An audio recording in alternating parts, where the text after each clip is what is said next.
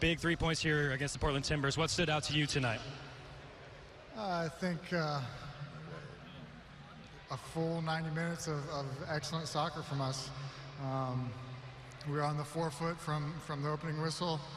Uh, I thought we, we possessed the ball extremely well, um, created a lot of chances, um, and when they got the ball, we got it back uh, very quickly. We were in very good spots defensively. Um, really gave them nothing throughout the game.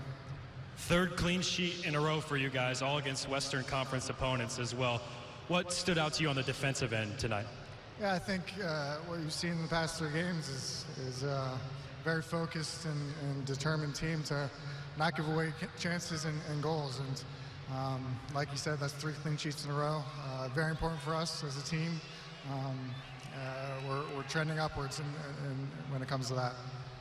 Is this nice birthday present for you? It was, yeah. That's all I was wishing for is three points. And I think you had some family in town as well, and you were honored before the game with Matt Besler for your outstanding career here. Just a, a, nice night to have your family in town, I would assume. Yeah, it was great. Um, glad to have both my parents here, and uh, um, tremendous honor, and basically just means I'm getting a lot, a lot older. Thanks, Graham. Thank you.